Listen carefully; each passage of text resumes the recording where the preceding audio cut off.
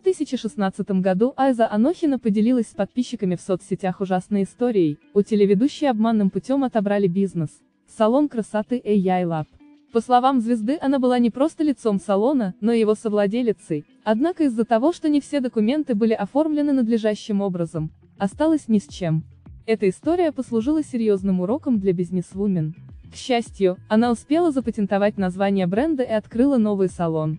В прошлом году Алена Шишкова дала интервью, в котором рассказала о прекращении сотрудничества с подругой и партнером Ириной Кирсановой.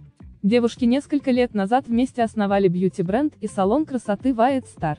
Изначально у бренда было три соучредителя. Все, что мы делали, было полноправно, и финансирование тоже было равное с трех сторон, моей, Ирины и ее мужа Дениса, но меня не устроили некоторые моменты, Поэтому я приняла решение прервать сотрудничество. Единственное, я попросила оставить бренд за мной, но оказалось, что он обманным путем был полностью оформлен на Иру, объяснила суть конфликта Шишкова.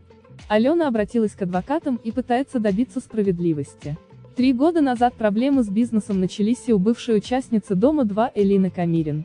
Звезда со своей подругой и партнером Екатериной вела два проекта, журнал Kids Family Club и агентство зарубежной недвижимости и путешествий. Однако вскоре у девушек возникло недопонимание из-за финансовых сложностей. После того, как задолжавшая крупную сумму денег Екатерина перестала выходить на связь, Илина решила вынести конфликт в публичное поле и рассказала о случившемся журналистам.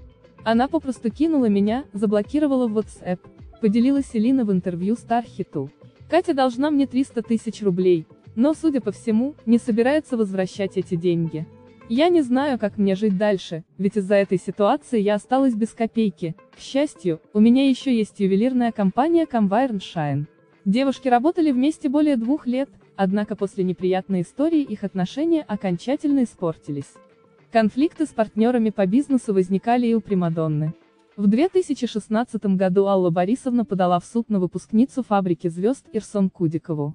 Девушка занимала у Пугачевой крупные суммы на развитие детской школы талантов, которую они основали вместе, однако не торопилась возвращать долг размером 26 миллионов рублей. Закон оказался на стороне Примадонны, и ее напарнице пришлось вернуть средства в полном объеме.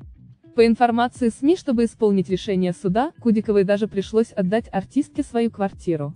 Ксения Бородина, как и многие другие знаменитости, не стала замалчивать конфликт, когда у нее начались проблемы с партнерами по бизнесу. На своей странице в социальной сети телеведущая опубликовала пост, в котором рассказала о произошедшем. Я больше не имею никакого отношения к магазину Бородина Shop.